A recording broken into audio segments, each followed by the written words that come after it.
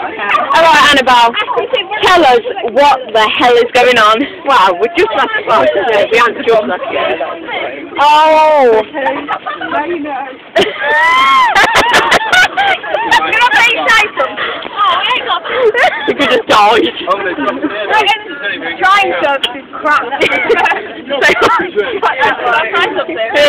I've waited all day for this, and I went half an hour longer. So I got Barron's for the bus. Two of them said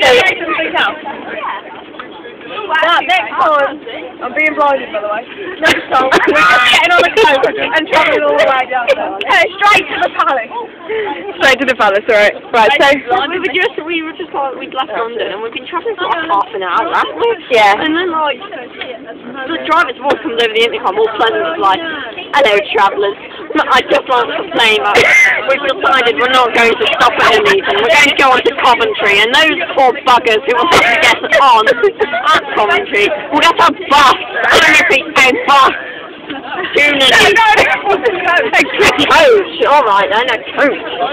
And, So that's where we are right now. on the we didn't even hear him. We actually thought we were leaving. Yeah, it, you know, the time right now is, in fact, Like 35 can't see it. Yeah. No, that's not real. Shit. Is that a joke?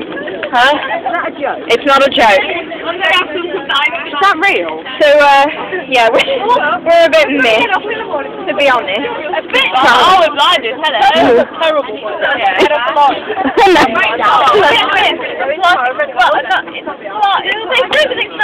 What's an understatement, Laura, is the word you're looking for? I'm tired. I'm research. I've seen dinosaurs scared me. And frankly, dinosaurs. I'm trying to know if London was worth it. and Laura doesn't swear a lot. No, that doesn't pass really annoying at the moment.